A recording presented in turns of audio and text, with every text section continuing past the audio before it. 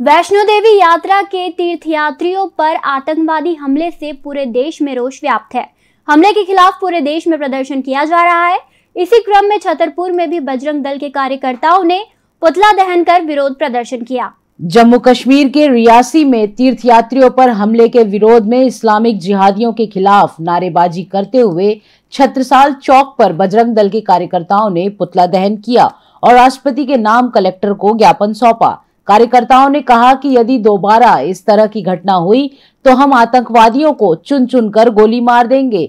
साथ ही पाकिस्तान को करारा सबक सिखाने की बात भी कही। माता वैष्णो देवी यात्रा पर जो तीर्थ यात्री गए थे हिंदुओं के खोड़ी से लौटते वक्त 9 जून को पाकिस्तान पोषित आतंकवादी इस्लामिक लोगों ने जो अटैक किया है, उसके विरोध में हम लोगों ने इस्लामिक जिहाद का आज पुतला दहन किया है।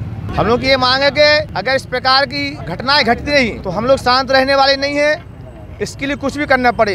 जैसा कि नाम है बजरंग दल का वैसा काम भी है और ज़रूरत पड़ी तो दिखाने का काम भी करेंगे।